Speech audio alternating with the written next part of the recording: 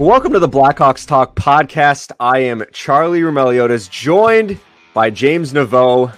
James, they brought us back, the two of us, again, together again. How you doing? Pat Boyle steadfastly refusing to appear on air with us. We'll see how long his strike lasts. You know what? He's currently um he's currently playing some golf. He's doing uh he's doing something at the Glen Club. I think there's like a tournament there or something and he's participating in it. So I'm um I'm looking forward to hearing from Pat to see how he did. And um, I've played with Pat a few times, and uh, I, I, I hope he's doing I hope he's doing well on the golf course today because um, uh, yeah, but yeah, it's just it's me and you again, uh, James. We got some stuff to talk about. We're gonna hit on uh, some takeaways from the Mike Doneghey interview that that Pat and I did on Tuesday. Um, Kyle Davidson made some front office promotions. We'll touch on that. We'll also talk about the controversial game four overtime goal in Tampa Bay. Was it too many men on the ice penalty? We'll we'll break that down, and then we'll finish up with some NHL awards um, results discussion. I can finally reveal my ballot. Um, I don't have to be so secretive when we talk about it anymore. So, um, James, let's start out with the the Mike Doneghey interview from Tuesday. So, first of all, my biggest takeaway is that he revealed on the podcast that um, he is the permanent amateur uh, scout. He, is the new chief scout for the Blackhawks. He is not the interim. Um, because when, when Kyle Davidson was named the general manager on March 1st, he got Mike Doneghey got the interim tag, but it was I think Mike said the third week of March is when he had that interim tag lifted. So he is the permanent guy. The Blackhawks are not doing a search. He's going to be running his the draft um, July 7th and 8th. James, I'll throw it over to you. Anything stand out to you in that interview on what Mike said and maybe his approach going into the draft? I, I did kind of like the fact that you guys uh, broke that news. That was really well done. That was intrepid reporting by both of you. I thought I, just, I read the transcript after you guys were done, and that stood out to me just being hilarious. Like, no, I'm not the interim guy. I'm the full time guy, and you guys both just be like, "Well, congratulations." Yeah, it was also funny too because it wasn't like Oh yeah, he he pulled it uh, a few weeks ago. It was like, oh, he pulled it in the middle of March. So I was like, oh, for three months ago. I'm glad we. Like, I'm glad. Where's your Where's your press release for that, man? Like yeah. that's what I would have asked him. I'd have been like, what is Kyle like ashamed of this? Why didn't you get like your own press release and red carpet and stuff, man? What's going on here? Um, yeah. Aside from you guys breaking the news about that, of course, I thought that the the two things that I really took away from it, it, one of them is something we've been talking about fairly extensively is the Alex DeBrincat rumors have kind of ginned up and there's a lot of talk that he could potentially be moved this off season. And I had a I isolated a quote from him about this where he said I think the directive you want to build down the middle and on defense and in goal. Your centers and your top three defensemen and your goalie are probably your most important positions. I have been on record as saying that I would be comfortable if the Blackhawks wanted to give Alex DeBrincat a long term extension. There are not a lot of guys in the NHL that you basically can plug into your lineup and assume they're going to score between 40 and 50 goals. And it feels like Alex DeBrincat is becoming one of those guys. And I think that you can kind of make an exception to the build around the middle mentality if you have a guy that's like that, right? And I think that Alex DeBrincat fits that bill. On the other hand, the way he says that, the way you say you want to build down the middle, it's like, well, that's not going to happen if you're signing Alex DeBrincat to a nine or a ten million dollar contract, giving Patrick Kane, you know, Joe Pavelski money that six or seven or eight million a season. That's not in sync with that kind of mentality. And I'm not sure if he just means organizationally that that's how they're going to do it or if that's the way they're going to build their actual NHL roster. But that statement to me really stood out, especially with all the rumors that have been floating around about Alex DeBrincat and really called into question the idea of whether or not the Blackhawks would seriously entertain giving him a contract extension at this point.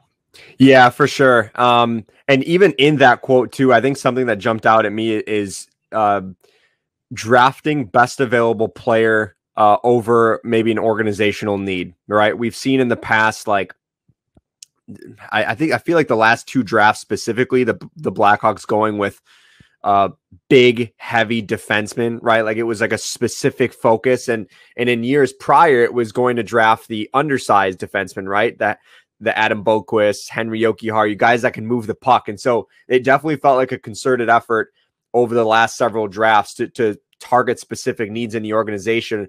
And, and I like the philosophy that he has about, um, you know, cautioning you don't want here's his direct quote you don't want to leave that type of player he's talking about an organizational defenseman if there's a if there's an elite defenseman available for the blackhawks he goes you don't want to leave that type of player there just because the seventh center on your list is available and you're hell bent on centers so you have to be open to what might fall to you and be ready for it so i really like that approach i've always said in the past um, you got to go for the best available player over specific needs right and I always point to um, the 2000, I think it was the 2015 16 draft. I can't remember when when the Boston Bruins had three consecutive first round picks. It was like 14, 15, and 16. And it was basically like no name, no name. And then Jake DeBrusk is like the highest profile name in that list. And right after that three consecutive Bruins pick went Matt Barzal to the New York Islanders. And yep. I, I wonder if Boston didn't take Matt Barzal because they had Patrice Bergeron and David Krejci at the time, right? Like they had their one and two centers for the next five years basically solidified. So you don't want to caught like you want to caution away from just saying like ah well we don't need a center we'll go for you know this like if that center is the best available player even though you have a surplus of centers you know in Chicago's case they they could probably use some some more centers in in the organization um, I think they should go for it. But yeah, I, I definitely. It's funny that we picked out um, like the same. We had the same takeaway from the same quote, but you had a different different takeaway, and I had I had I also had a different takeaway. And then the one thing that also jumped out at me was like we opened the podcast with it, and he was like, like is is speed the mantra going forward? And he said, absolutely, we want to play as fast as we can, as quick as we can, like all the things that like you're watching the Colorado Avalanche right now in the Stanley Cup final, it feels like the Blackhawks are are trying to get to that level. Now, it's easy to play that way when you have Nathan MacKinnon and Cale Makar and guys that can really like the fastest players in the National Hockey League. But I think that's the kind of game the Blackhawks want to play. Well, they can beat you with their speed, but you know they can also maybe shut you down. Um, so I think you know th- those are two of my biggest takeaways, um, James, when we talk about you know the first part and then the second part of just playing with speed and finding those up those up tempo type players whether it's through the draft free agency that feels like um, that's the way they want to play moving forward I did want to also point out you had mentioned the best available player kind of mentality, and it's really easy for teams to say that and then to go into the draft and look to address uh, specific needs. And he even mentioned in the interview that the Blackhawks have tended to kind of go defense heavy in the last few drafts just to kind of build up the blue line stockpile in the farm system. And I think that the temptation is going to be there this year to potentially course correct for that and go mostly forwards, maybe throw in a goaltender. But I think that it's really critical to keep that best player available mentality in mind, considering how many picks the Blackhawks have in the second and third rounds. I think that they really need to focus on guys that they feel like have dropped below the valuation that they have for them and just to go ahead and get them no matter what position they end up playing. He listed off so many guys that have gotten taken in second and third rounds and made fairly quick impacts at the NHL level in recent years. And I think that mentality is one the Blackhawks really they've done a good job of embracing in the past and they really need to continue to do so and not to worry about, you know, what position that player happens to play. If you find a guy that you have a first round valuation on and he drops into the second round, I think they absolutely need to go after him. And I'm confident after listening to that interview that that's what the Blackhawks are going to do. Yeah, definitely. And I know the, the Blackhawks don't have a first round pick currently, um, but he is preparing like he. They like dropped, he, he dropped a lot of hints that they may try to package picks and move up. Like that was kind of prevalent the entire interview, wasn't it? I, I felt like because they have a lot of second and third rounders, there's a possibility of packaging.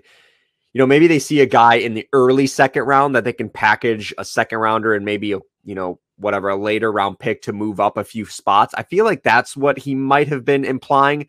I feel like if they are going to like he he made it known. I'm going to pull this up again really quick. Like we asked him about um they obviously don't have a first round pick right now, um, but he's preparing as if as if he does have one, right? So he he goes, I just spent time at the World Championships watching three players that are going to be gone in the top ten, and he goes, "I wouldn't like my first draft to for for Kyle to dr- trade into the top ten, and and says, "Who do you like?" And he hasn't watched any of them, right? So it, it's not just like the later round first rounders that he might be looking at. Like they are looking from one to to two twenty four, um, is what he said, and and I think, you know, not having a first round pick. Let's just say hypothetically it stays that way. I think he's taking a lot of pride in trying to find those hidden gems in rounds two and three, right? Like they have five draft picks currently in rounds two and three. And we're seeing some NHL superstars, Brayden Point, Adam Fox. Those are the guys. And there's so many guys from like the, the Stanley Cup winning Blackhawks teams, like Nicholas Hjalmarsson and Dustin Byfuglien and Dave Bolland and Duncan Keith. Like all those guys were later round draft picks. Brandon Saad and Andrew Shaw, too. Yeah. And Alex DeBrincat, too, second round pick. You know, so there's so many there's so many of those players available, like like Mike said, and it's just really trying to find them. Um, and it's taking a lot of pride in in, in finding um, those types of players. Let's um, you have one more thing.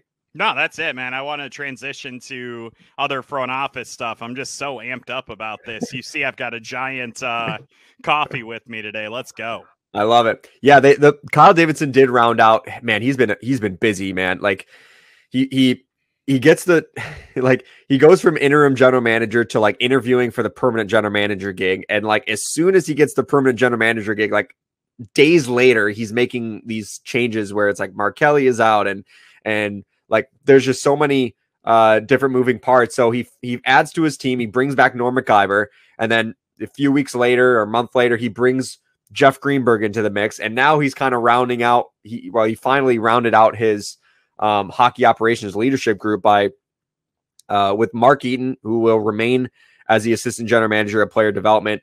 Megan Hunter has been promoted to assistant general manager of hockey operations. So now the Blackhawks are going to have two assistant general managers, and then Brian Campbell will remain in the hockey operations as an as an advisor, who is basically Kyle Davidson right, Kyle Davidson's right hand man um, when he had the interim tag, and then Carolyn Pilch who's been promoted to director of player personnel. So it, it is it's a unique structure, right, James? You got the general manager um, who's 34 years old, and then he's got two associate general managers, yep. one a veteran in Norm Maciver, one has a baseball background in Jeff Greenberg, and then now he's got two assistant general managers, Mark Eaton, who's focusing on player development and and things of that nature, and then Megan Hunter, um, you know, who, who's overseeing.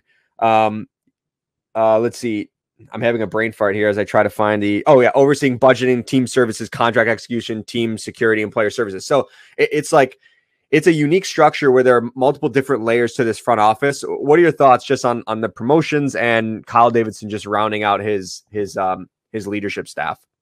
He's certainly trying to come up with a lot of different ways to uh like include a lot of different voices in the room right? I think that we we kind of looked at him being you know 34 years old and kind of evaluating whether or not he was going to need like a really good veteran associate gm he obviously has that in the form of norm maciver. He got you know way way outside the box when he hired uh greenberg to also be an associate. So we kind of already knew that he was willing to have a lot of different voices in the room.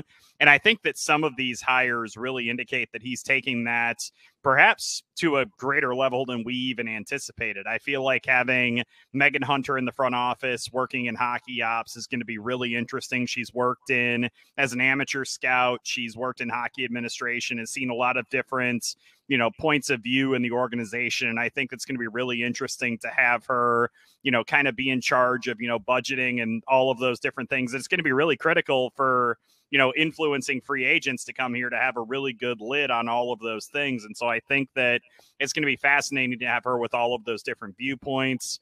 I, I think having mark eaton still oversee the rockford ice hogs and the amateur and pro player development is a really smart move by the blackhawks. I think that he has been in the organization long enough and has done enough different things that I can really see him thriving in that role. Those obviously were the two kind of main takeaways that I had from the list of hires. I'm also really intrigued to see how much of a role Brian Campbell is going to have in the front office. I mean, they were leaning on him when they were hiring the GM in the first place. So it's fascinating to see that he's still going to be part of the leadership team and part of the mix moving forward. And you know, we're going to get a really quick look at how this front office structure is going to work when we move through finally hiring a head coach, going into the NHL draft in a couple of weeks, and then into free agency. I just think that some of those names are really kind of jumping off the page at me. And yeah, just the size of the brain trust that Kyle Davidson has assembled is really really interesting to me. I, I know that it, it'd be really easy to try to kind of boil it down to these few people have say, and then we're going to go. But having that many different voices on a project that's going to be as big as this rebuild potentially is going to be is definitely um, an intriguing strategy and one that I think could really work out well for them. Yeah, and it's a lot of people internally that are getting promotions, right? So it's it's got to be encouraging within the organization. Um, where you know if you get a job with the Blackhawks, maybe at a lower level, like you can quickly work your way up. We saw Kyle Davidson do it as an intern to now the general manager.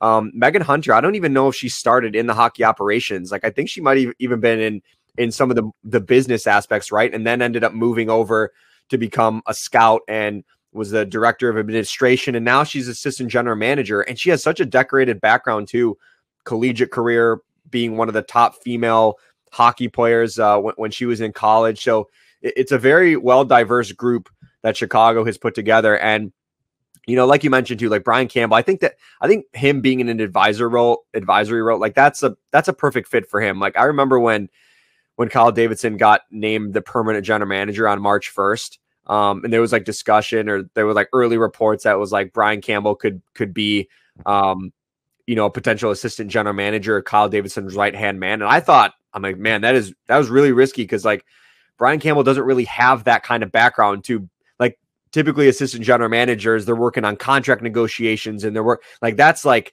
that's nuts and bolts kind of stuff. Like Brian Campbell, I feel like this is a perfect role for him, kind of be the advisor to Kyle Davidson, be, you know, be in his ear about maybe stylistically ways they want to play, potential players, like stuff like that. Well, so yeah, I, just look at the way he played. Like that's yeah. exactly what the Blackhawks are going for is that kind of uh, offensive, speedy kind of blue line. I think that he fits that, you know, paradigm kind of perfectly, doesn't he? Yeah, no question. And so I, I really feel like this is like this is the perfect kind of fit for him. So you basically so you have all these you know different different components to the to the leadership structure. And I, I, feel like you know it could benefit the blackhawks having a lot of these different you know diverse backgrounds jeff greenberg and megan hunter and all these different perspectives.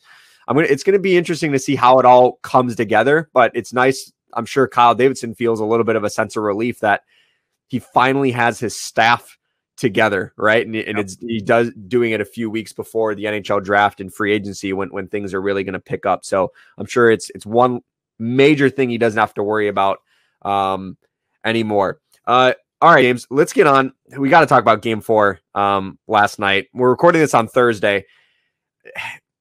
Obviously, Tampa, Colorado. Th- this this felt like win- winner of that game wins the series, right? Like if Colorado wins, they go up 3 1. And it's like, I don't know if Tampa can beat Colorado three in a row, especially two in Colorado. And then you felt like if Tampa would have evened it up at 2 2, you know, then the momentum is going the other way, and and maybe there's a goalie controversy in Colorado, and Vasilevskiy's heating up, and it feels like Tampa gets better as the series goes on. But that didn't happen, and it was a very controversial um, game-winning goal in overtime by Nazem Kadri, and we have to we have to kind of break it down in real time. There were so many different layers that it was like, first of all, no one knew that the puck went in the net. Not even Nazem Kadri, right? Yeah. Like it was I see like a lot of comparisons to the Patrick Kane goal in 2010, and it, no question it fell right in there because no one knew it went in.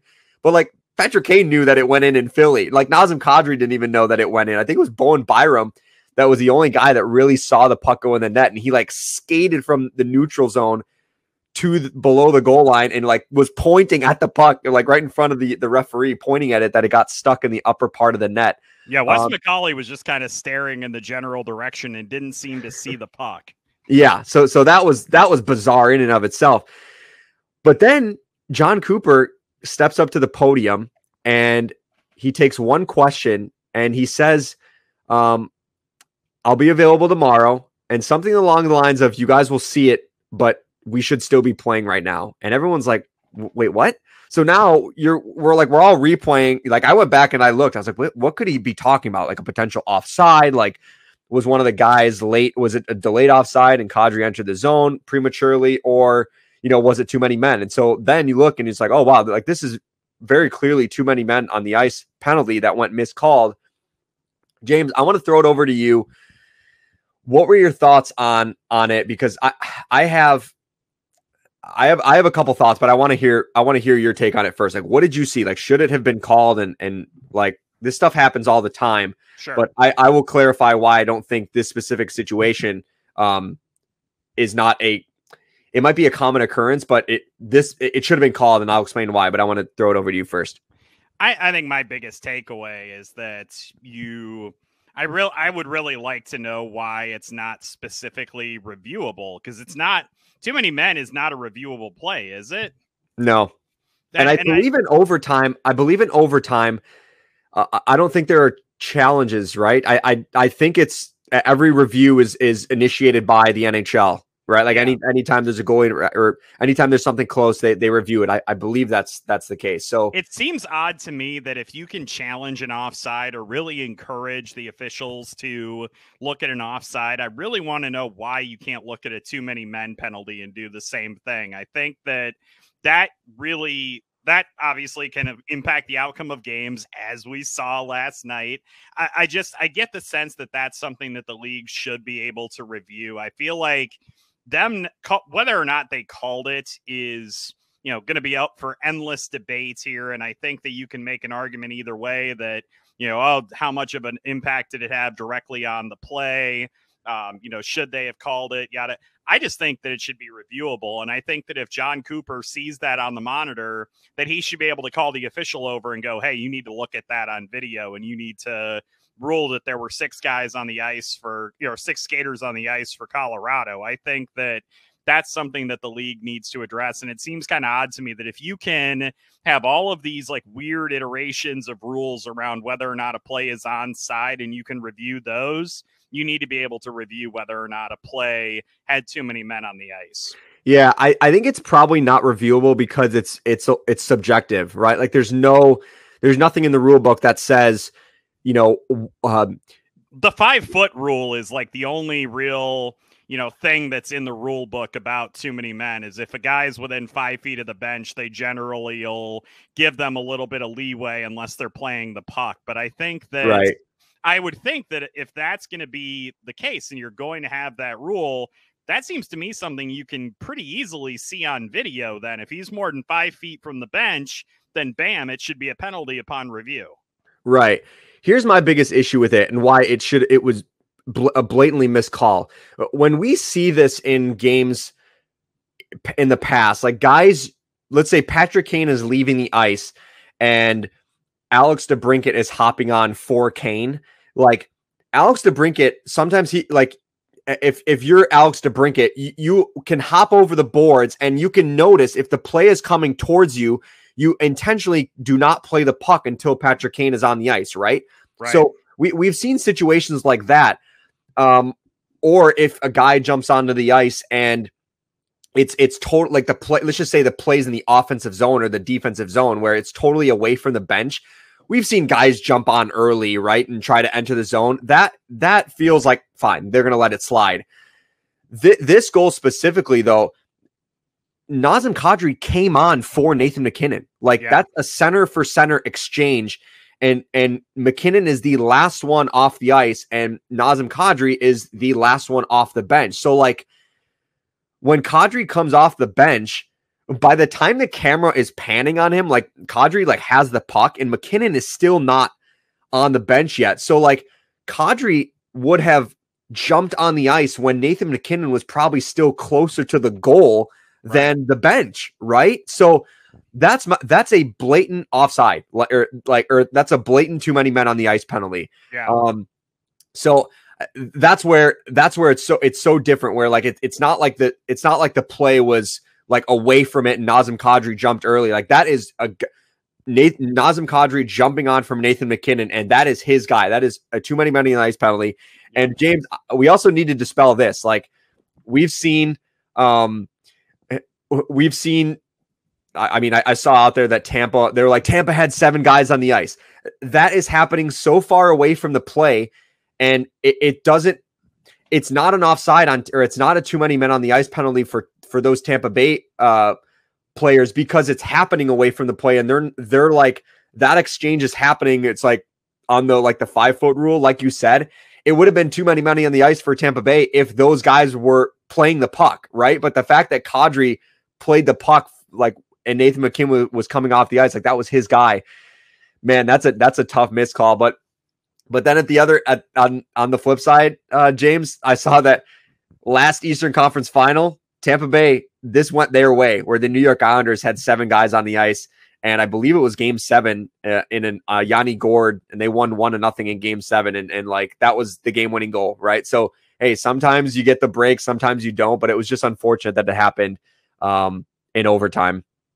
Of yeah, a, I, I think what, what I don't understand is also the people who are saying that you know oh well you know th- if you're going to bring up stuff from like you know 2019 or whatever to like justify the potential too many men penalty here like just you can miss me with all of that man like let's just focus on the issue at hand i feel like the the fact that it's not subject to video review i do feel is strange like if you can review all these other things why you can't review that is kind of beyond me and i know that they're you know, there's elements of judgment called to it as well. And that's what the NHL said in their kind of defense of the way that the officials kind of handled it last night. But there's also some kind of black and white elements to that rule too. And i think that as you pointed out correctly with nathan mackinnon being so far from the bench when nazem kadri jumped on the ice i feel like if that had been reviewable they would have ended up assessing the penalty and the game would have gone on.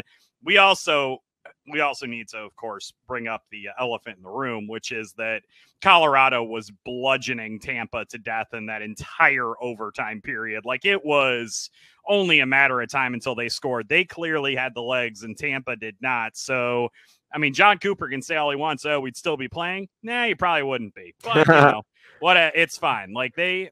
I have to give Tampa credit. They very clearly throughout the series have been the team that's had more miles on their legs, and they've been a step slower than Colorado has been, but they've really held it together really well. Winning game three the way they did was really impressive.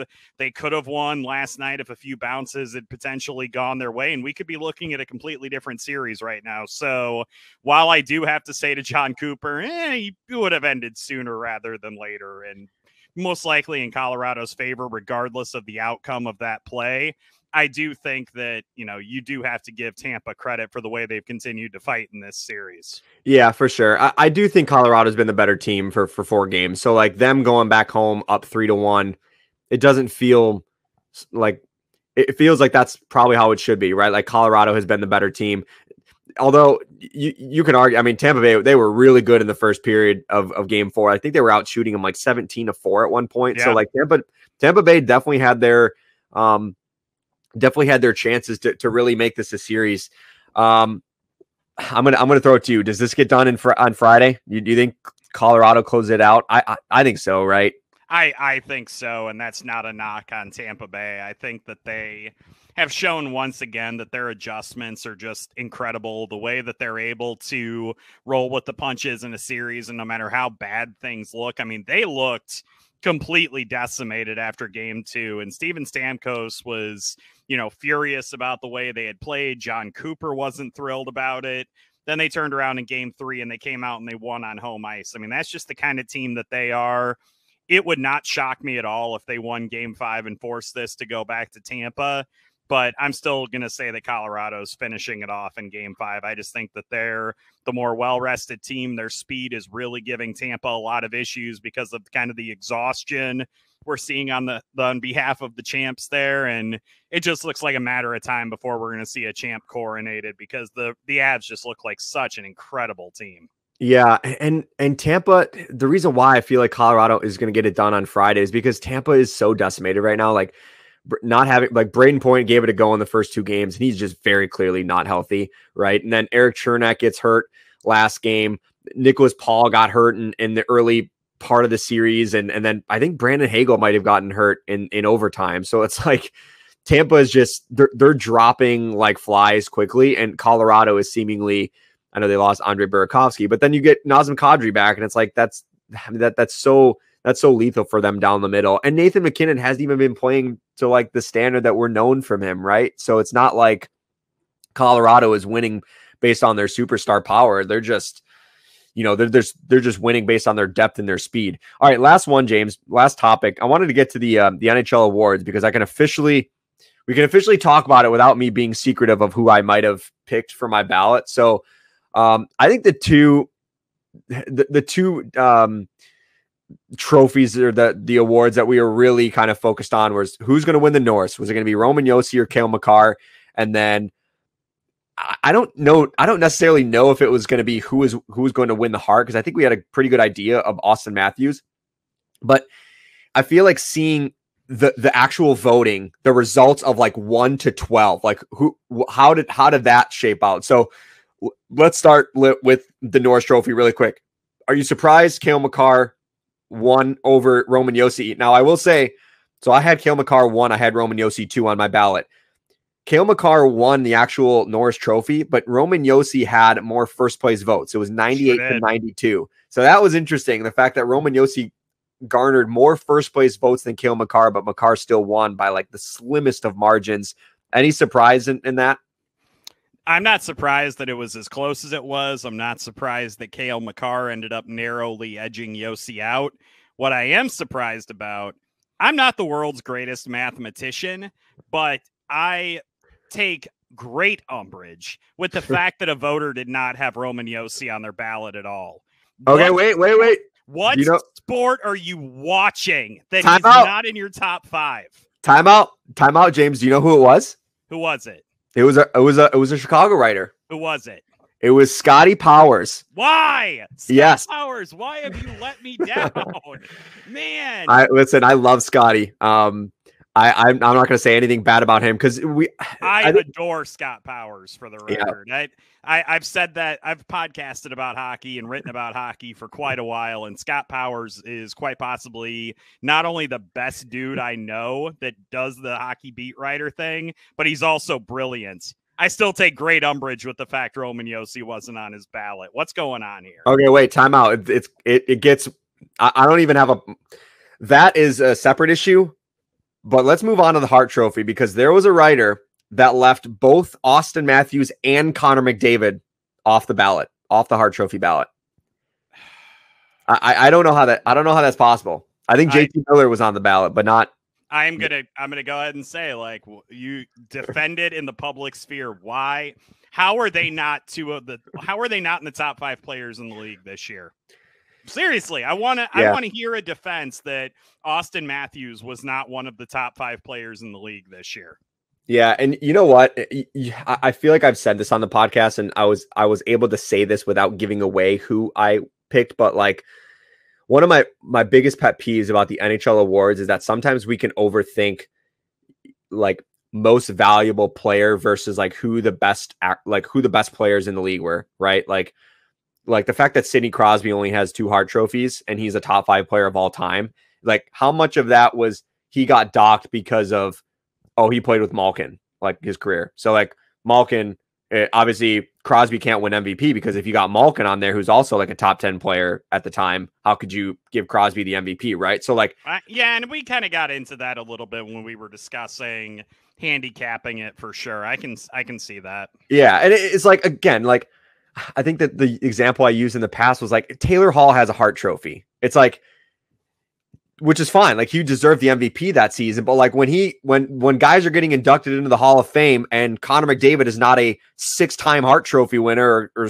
Crosby is a two time Hart Trophy winner, it feels a little weird that he doesn't have more. Right? It feels a weird, little weird that like the best player of our generation, um, Sidney Crosby, like only has you know, two Hart trophies. Uh, so anyway, I digress. The, the, one thing I did want to get into that was interesting um, is like Igor Shesterkin. So full disclosure, like I, I, left him off my ballot entirely. Um, one to five with the, us us voters, we get we got to rank him one to five, and I left him off my ballot completely. And it wasn't necessarily a um, a knock on Igor Shesterkin, as opposed to there were so many qualified candidates Leon Draisaitl, Connor McDavid, Auston Matthews, Johnny Gaudreau, Kirill Kaprizov, like Cale Makar, Roman Yos. There were so many candidates that like I had such a um I had such a high standard for a goaltender getting on my ballot that it was like you must have you had to have a like a historically good season to make my ballot uh, if you're a goaltender, right?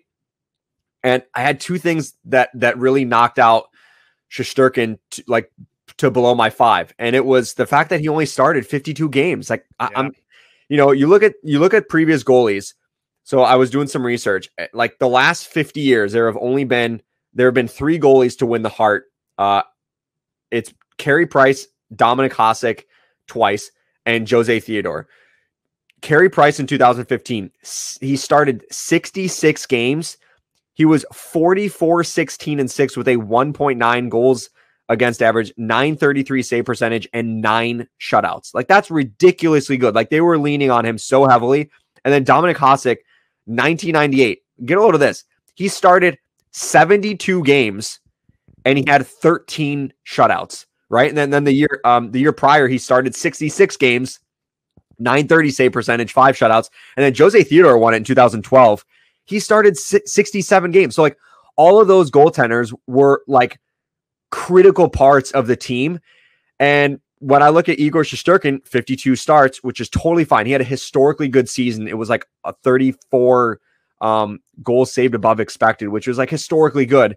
But like Alexander Georgiev, when he was in that, the, the Rangers were 15, 10, and 2. So like th- there wasn't a significant drop off like in their record. So like I don't know, poke holes in my argument, James. Like, eh, is I, am I being too harsh on Shesterkin that I didn't leave that I left him off the ballot? Because I saw some people had him one, and it's totally good. But like, if he started 66 games like Carey Price did in 2015, and he put up the same numbers, like that, that would have been way more impressive because they were really riding and dying with him.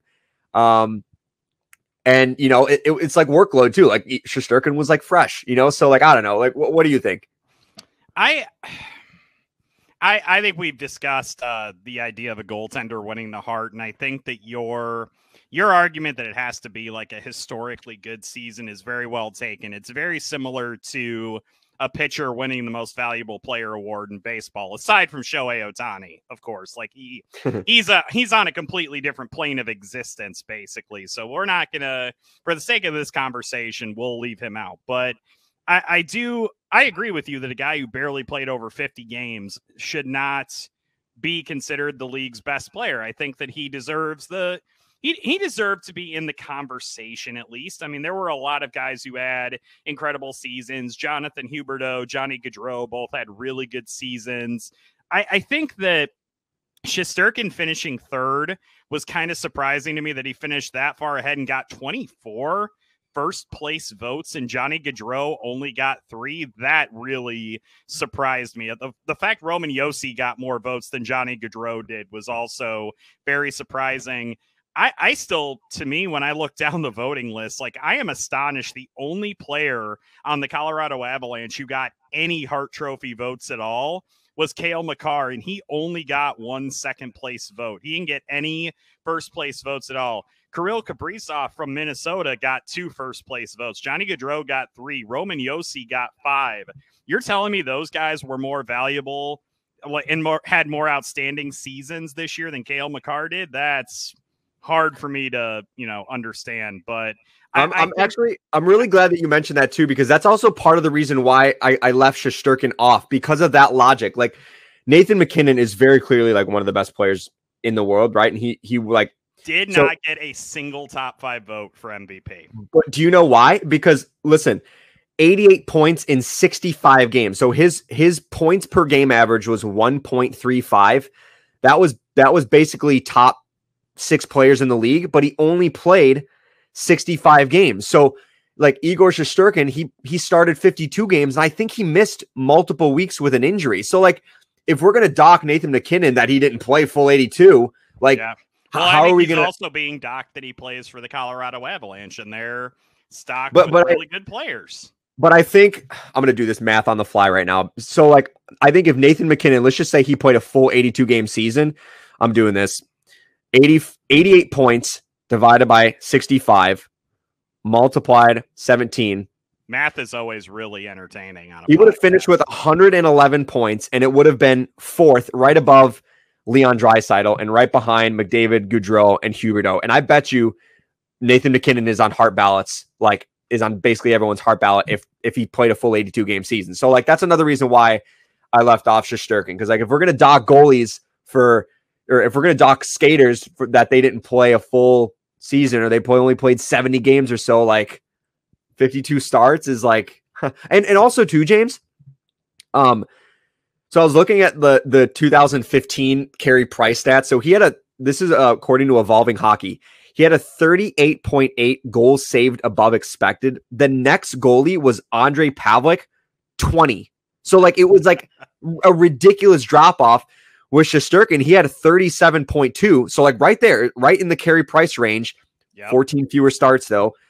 And the next the next best goalie was Freddie Andersen at 28. So it was like a difference of nine. So like it so so then if if Shesterkin's in the Hart conversation, if he should be number one on ballots, why isn't Freddie Andersen closer to the heart? Right? Like I don't Freddie know. Andersen so, finished fourth in uh, Vezina voting. By the way, did you have any issues with the uh, the way the Vezina shook out? Well, I feel I feel like um I feel like Saros and Vasilevskiy they got they were finalists because they played more games. Like Saros started like sixty plus games, and yeah. um you know, and Freddie Andersen only started what fifty two, like 52 games played. So yeah. like right there was Shesterkin, 52. And also Andersen did get a first place vote in the Vezina, as did Vasilevskiy, as did Sorokin. You know who didn't? Yeah, Jacob Markstrom didn't get a single first place vote. Yeah, that that was interesting. He led the league in shutouts. Um, so I will say, full disclosure, this was my Hart ballot, James.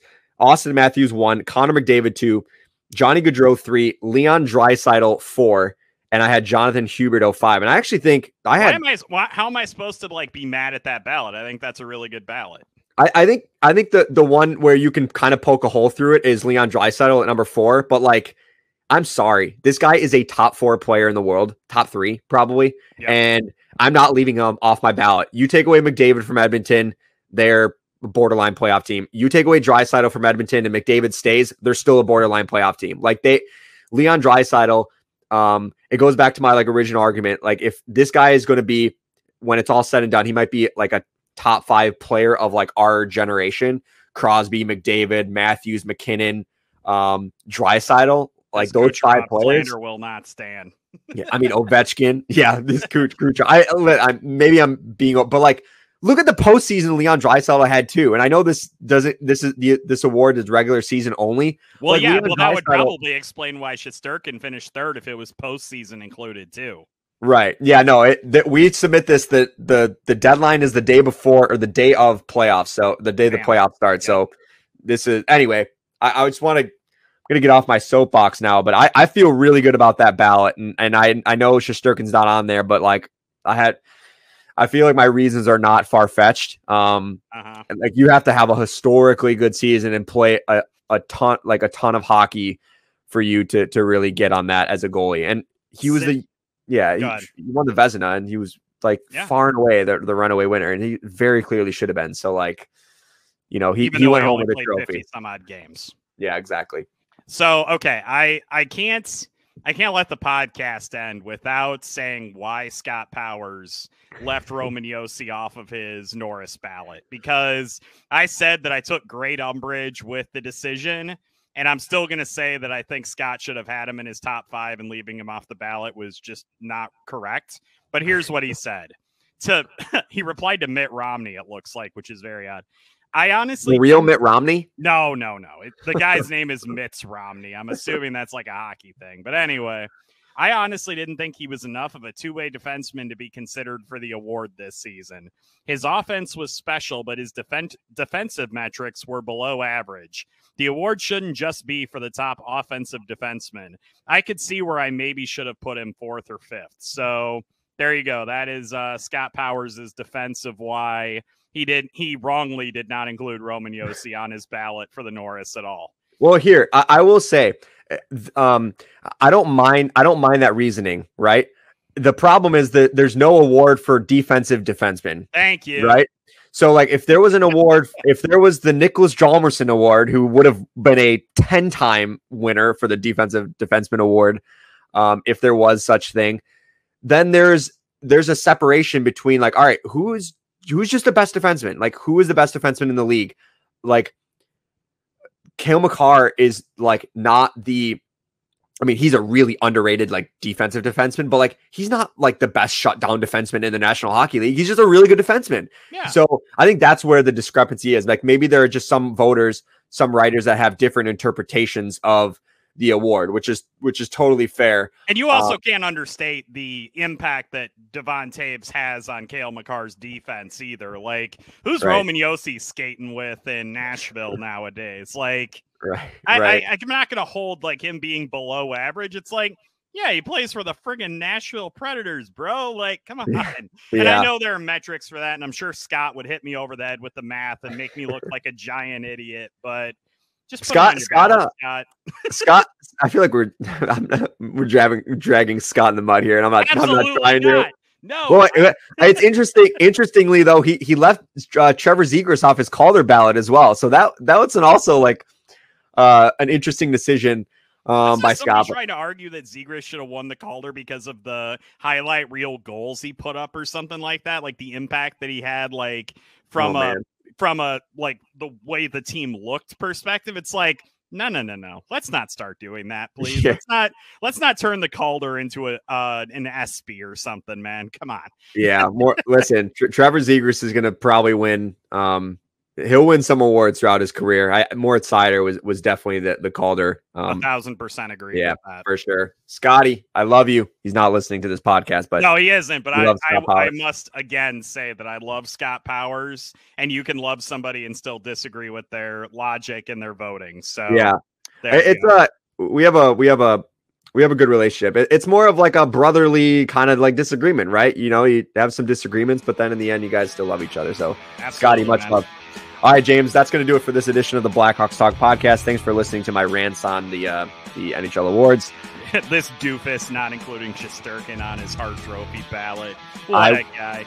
I see. I will go to my grave with that. Um, the problem is, I, I just I don't get into Twitter arguments, right? Like I, I, I it's not worth it. It's not worth it. So like, if you want to, if you disagree, totally fine. But I'm not going to get into like a Twitter spat. Like I'll, I'd love to have a conversation with uh, you, James, on the podcast about it. Should I start one with you? Should I start a Twitter feud with you over this? I, I won't. Reply. I won't reply. Fine, I'll just bludgeon you. Then it'll be fun. All right, James. Good stuff. We'll see you next week.